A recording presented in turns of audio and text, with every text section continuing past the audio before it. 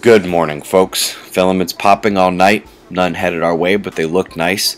We got shots of our star to begin today because after the news we have a little addendum regarding the current earthquake watch and some recent quakes. We'll begin at the Indian River Lagoon, where algae blooms ravage the local ecosystem and a downward spiral is now claiming dolphins, birds, manatees, and other fish in a complete biological catastrophe.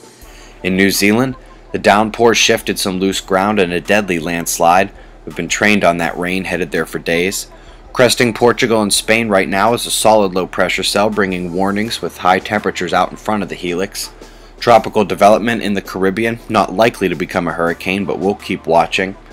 Low crusting the Canadian west coast has rain on deck while the primary convergence is over Oklahoma, set to bring severe weather tonight, but the rain itself extends well northeast, even up into Canada. Solar wind shows a hitch this morning. Density and speed were falling, with plasma temperature rising actually, but then they went the other way a few hours ago, setting a ding on the magnetometers and taking a cut at the electron flux. Flaring is slowly creeping higher. There is major development coming in down south and one just north of the equator as well. Magnetic mixing has us watching the whole group today. The umbral field is open and opening further. The coronal holes are here, and that's a pretty good lead into the rest of the video.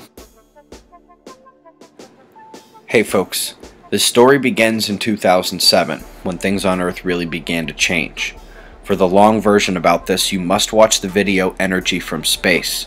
But for today's topic, the most important thing to remember is the longer term fading of the Sun and Earth's magnetic fields. But more recently, 2007 brought coronal hole anomalies. They left their normal polar position for a solar minimum and appeared to gear up the already ongoing shift. The Sun and all planets are changing, oddly Earth is getting it light, Energy from Space details these changes, including this, the overcharging out of control in the F1 layer, one of many changes at Earth. Coronal holes are especially important with electromagnetics fading on Earth, Sun, and changing throughout the system.